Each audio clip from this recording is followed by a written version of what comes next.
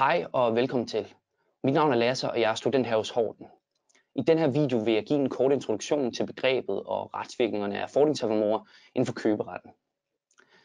Jeg skal i den forbindelse gøre opmærksom på, at det alene er øh, købers fordringshavermorer, jeg vil berøre i videoen. Lad os bare hoppe ud i det.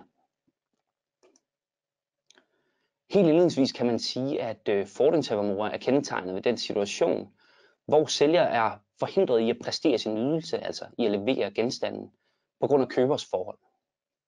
Fordringshavermorer det er reguleret i købelovens paragraf 33-37, og de her regler de gælder for alle typer køb inden for købeloven.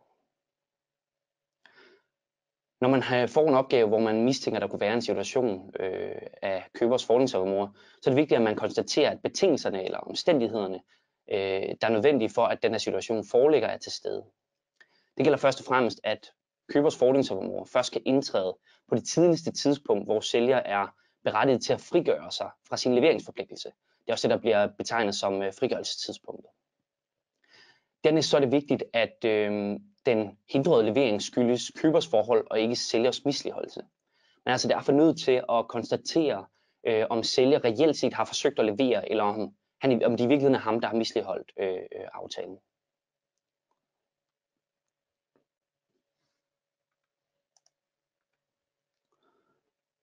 Det er vigtigt at være opmærksom på øh, de retsvirkninger, øh, der er forbundet med købers fordringshavermorer.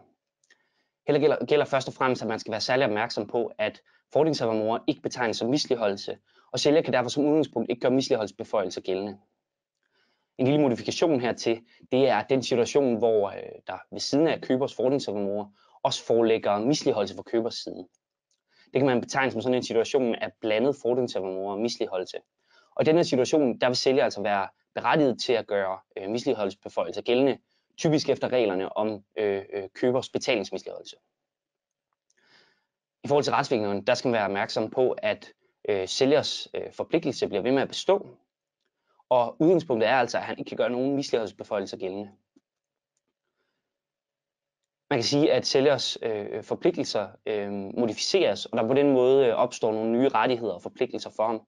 Og det er dem, der er reguleret i købelovens paragraf 33 til 37. Og lad os prøve at kigge lidt nærmere på dem. Først og fremmest gælder efter øh, køberlovens paragraf 33, at sælger har pligt til for købers regning at drage omsorg for genstanden i den situation, hvor der indtræder købers fordringshavermor. Omfanget af den her øh, omsorgsforpligtelse er ikke reguleret i købeloven. Og får man en opgave om øh, øh, øh sælgers omsorgspligt, så må man foretage en konkret vurdering af, øh, hvor langt den her omsorgspligt ligesom rækker. I den her vurdering der kan man øh, med fordel lægge øh, vægt på nogle af de kriterier, jeg har opstillet her på slidet. Kommer man i den situation, hvor sælger tilsidesætter sin omsorgspligt, jamen så vil det øh, medføre den virkning, at øh, køber kan gøre almindelig mislighedsholdelsesbeføjelse gældende. Vi bliver ved sælgers omsorgspligt øh, i kort sekund endnu, Øhm, fordi at øhm, man skal være særlig opmærksom på den situation, hvor der er tale om et forsendelseskøb. Her gælder nemlig, at sælgers øh, omsorgspligt øh, den reduceres.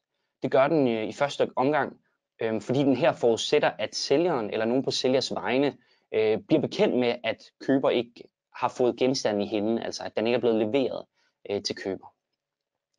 Hernæst, øh, der gælder sælgers omsorgspligt ikke, hvis det er umuligt for ham at øh, øh, øh tage genstanden i sin besiddelse, eller hvis det er umuligt for ham at få nogen på hans vegne til at gøre det.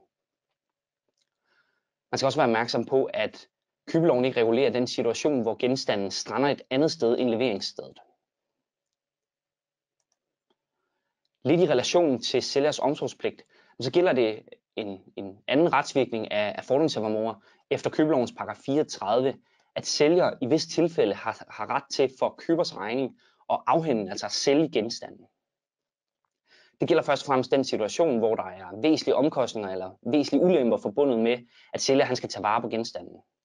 Og ellers så gælder det den situation, hvor øh, sælger han opfordrer køber til at tage genstanden i sin besiddelse, og køber ikke gør det her inden udløbet af et rimeligt varsel. Og når man skal vurdere, hvorvidt det her varsel er rimeligt, så må man øh, ligesom tage højde for, hvor stor ulempe der for sælger er forbundet med øh, og, og ligesom at drage omsorg for genstanden. I relation til sælgers øh, salgsret, der skal være, man, man er opmærksom på lidt forskellige ting. Først og fremmest så kan sælger ikke øh, gøre brug af sin salgsret, før han har givet øh, køber et passende varsel. Og øh, det her passende varsel, det kan man øh, eller kan købe eller undskyld sælger eventuelt give i forbindelse med at han han øh, ligesom opfordrer køber til at råde over genstanden. Hernæst gælder, at køber ikke kan gøre indsigelse mod det proveny, altså den salgspris, som sælger måtte opnå, hvis øh, at salget er foregået på forsvarlig vis. Det kunne eksempelvis være ved en øh, sådan forsvarlig offentliggjort øh, auktion. Helt ultimativt, jamen der kan øh, sælger øh, bortskaffe genstanden, hvis ikke øh, det er muligt for ham at, at, at sælge den. Det kan eksempelvis være, hvis ikke der er nogen interesserede købere. Øhm, og i den her situation, jamen der vil bortskaffelsen ligesom salget ske for købers regning. Over for sælgers salgsret, jamen der står øh, sælgers salgspligt.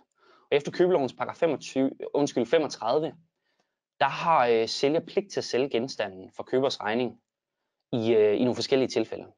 Det er først og fremmest den situation, hvor genstanden den hurtigt forældes eller hurtigt fordærves, eksempelvis hvis der er tale om øh, sådan noget som madvarer, eller hvis øh, øh, opbevaring eller det, at sælger skal drage omsorg for genstanden, er forbundet med så uforholdsmæssigt store omkostninger, at det i bund og grund ikke vil være i nogen af parternes interesse, at øh, sælger har, har genstanden i sin øh, opbevaring. Her skal man ligesom for sælgers salgsret være opmærksom på, at køber ikke gør øh, indsigelse mod det opnåede proveny, hvis salget er foregået på en, på en forsvarlig måde. Sælger har efter købelovens paragraf 36 øh, mulighed for at fordre erstatning for, øh, øh, øh, for øgede øh, udgifter øh, til en eventuel opbevaring, han måtte have, have skulle foretage, eller sådan øvrige omkostninger, der er forbundet med købers fordringsabonnement. Så når man støder på det her, øh, øh, den her formulering af, at noget, at sælger kan udøve en ret eller har en pligt for købers regning, så er det altså øh, sælgers adgang til erstatning, øh, der bliver henvist til.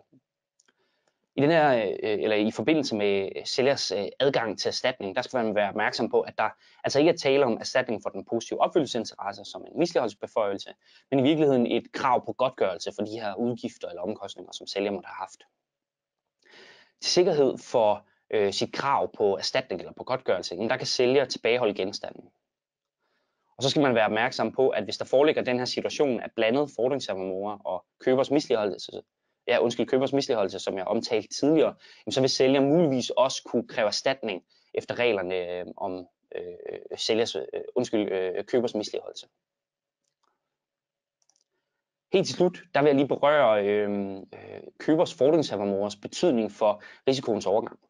Og her følger det efter købelovens paragraf 37, at i tilfælde af købers fordringshavermorer, jamen der overgår genstanden, eller undskyld, risikoen for genstandens hændelige undergang fra sælger til køber. Og det er jo lidt en undtagelse til udgangspunktet om, at risikoens overgang jo først overgår på det faktiske, som udgangspunkt først overgår på det faktiske leveringstidspunkt. I denne forbindelse kan man være opmærksom på, at risikoen under alle omstændigheder først kan overgå på frigørelsestidspunkter. Det var altså det her tidspunkt, der også var en omstændighed, der skulle være til stede for, at man kunne øh, øh, øh statuere købers fordringshormoner. Det skal man være opmærksom på sondring mellem specieskøb og genuskøb.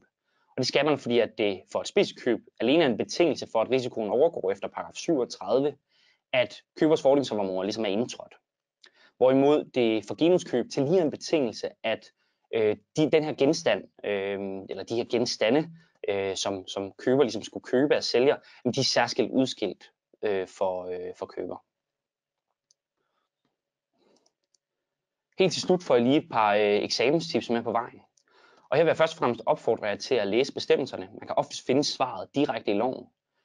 Øhm, så skal I dernæst være opmærksom på, om øhm, når man får en opgave om fordringsovermor, eller potentielt fordringsovermor, at betingelserne er, øh, er opfyldt for, at øh, man ligesom kan, kan sige, at der foreligger købers fordringsovermor. Så skal I huske, at købers fordringsovermor, eller at fordringsovermor i det hele taget, ikke øh, øh, karakteriseres som misligeholdelse. Og her vil jeg opfordre jer til at gøre det klart i opgaven, så I viser, at I ligesom har overblik over de retsvirkninger, der er forbundet med fordringshavermor. Hernæst der skal I være opmærksom på, om, øh, om der øh, i givet fald skulle forelægge misligholdelse fra enten køber eller sælger. Det er jo, som, som jeg har nævnt, vil have betydning for, om man også kan gøre misligholdelsesbeføjelse gældende. Helt til slut, så vil jeg selvfølgelig opfordre jer til at konkludere på jeres besvarelse.